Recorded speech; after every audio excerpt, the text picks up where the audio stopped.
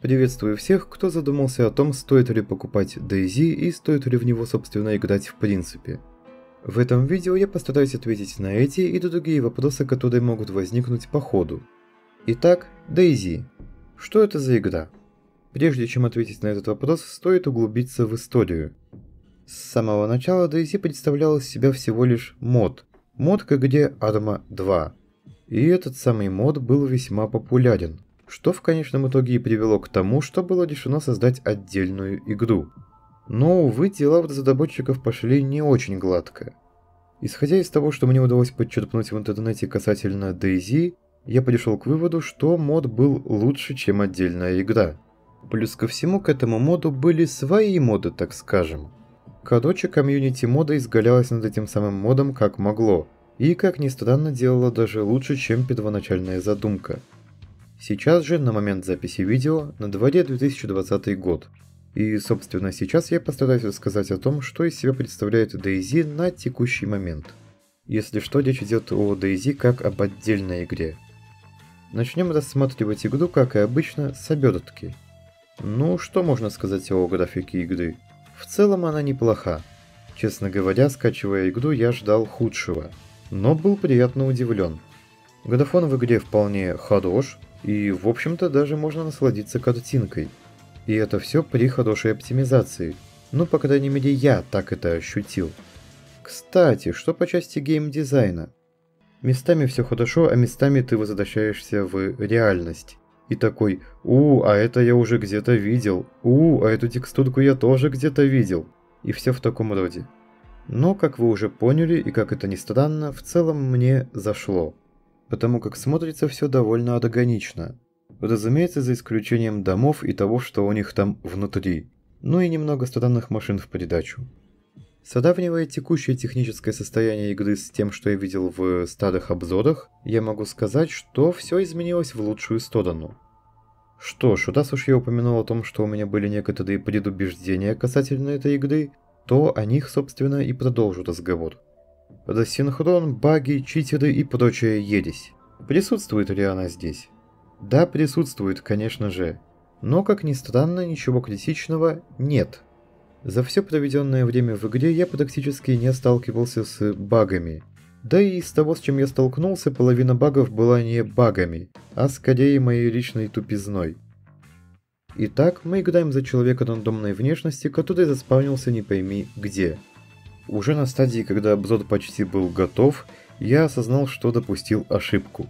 Так вот, если что, персонаж у нас не рандомный, его можно кастомизировать. Просто я заметил это далеко не сразу. Ладно, погнали дальше. В сумках нашего пед... А, стоп, какие сумки? В трусах и футболке нашего персонажа мы находим стартер-пак выживальщика. Ну, в общем, чуток еды, камни, тряпки и прочая ересь. Персонаж имеет несколько индикаторов, которые нам показывают его состояние.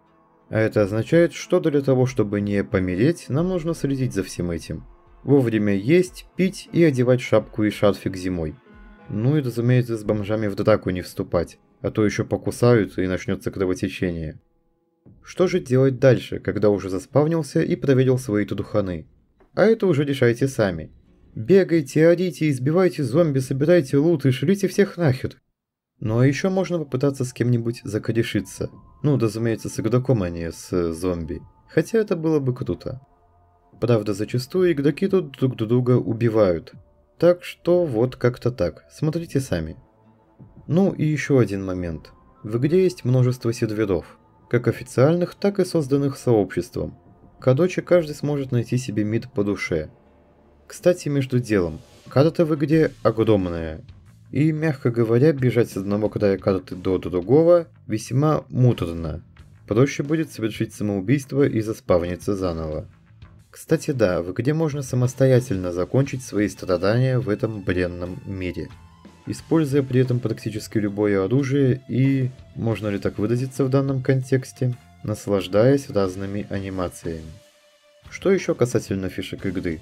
Ну, например, то, что создатели игры решили удариться в реализм, ну, в некотором роде. Например, вы должны самостоятельно заряжать магазины, вталкивая в них по одной пульке. Самолично передергивать затвор, чинить оружие, следить за весом, ну и в общем-то вести менеджмент вещей. Досходование вашей выносливости и тем самым повышение желания жрать будет варьироваться от того, как вы двигаетесь и от того, по какой поверхности вы двигаетесь. В случае, если вас укусили или подстрелили, то у вас начинается кровотечение. Сие нужно срочно нейтрализовывать перевязкой, либо вы умрете, и умрете довольно быстро. Если крови у вас осталось немного, так скажем, то мир предстанет перед вашими глазами черно-белым. Раз уж заговорили о крови, то собственно о ней продолжим. Боже, блин, какие у меня темы в видео. YouTube, не бань меня, пожалуйста. Если у вас есть все необходимое, то другой игрок может вам пожертвовать чуть-чуть своей крови. Ну, то есть сделать переливание. Но опять же стоит следить за тем, какая у вас группа этой самой крови. Еще вы можете готовить еду и следить за тем, чтобы она не подгорела, разумеется, предварительно продедив тайгу для того, чтобы сделать костер. В бутылке можно набирать воду, а потом травануться, потому что вода была нифига не чистая, и нефиг было вообще из лужи воду набирать. В общем, в игре есть много разных заморочек в этом плане. Не будем обсуждать все, а то видео затянется. Какие же впечатления в целом оставляет после себя игра? В основном положительные. В DayZ большой и в целом проработанный, хоть и с некоторыми шероховатостями, мир, по которому интересно бегать и в котором интересно выживать. То, что требуется, так скажем, заботиться о персонаже, создает элемент погружения. А этому, в свою очередь, помогает хорошая графика и звук, о котором я, конечно же, забыл сказать ранее. Хотя я особо и не знаю, что об этом можно сказать. В целом звуков в игре немало, а сюрреализма в принципе нет – Хотя, опять же, местами и есть к чему придраться, но не буду. Ведь, как уже сказал ранее, в общем все неплохо. Лично я в конечном итоге могу выделить только два минуса. Первый – это цена, а второй – это то, что играть в DayZ одному весьма скучно. Теперь же главный вопрос. Стоит ли покупать DayZ? В случае, когда вы осознаете, что игра не идеальна, но хороша, когда вам нравится такой сеттинг и концепт игры, и вы готовы к тому, что можете легко умереть и потерять все нажитое добро, то да, покупайте. А в том случае, когда у вас есть сомнения, или же вы понимаете, что со временем вам станет здесь скучно, то, пожалуй, нет. Игра-то хорошая, но столько денег за подобие чудов это слишком дорого. Ну а на этом мы, пожалуй, и закончим. Ставьте лайки, подписывайтесь и комментируйте. Все это правда важно для меня. Всем удачи, еще увидимся. Пока!